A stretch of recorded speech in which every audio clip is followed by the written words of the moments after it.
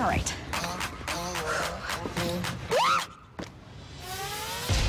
I did something. Shut the front door. we can pay cash. I'm gonna take these women down.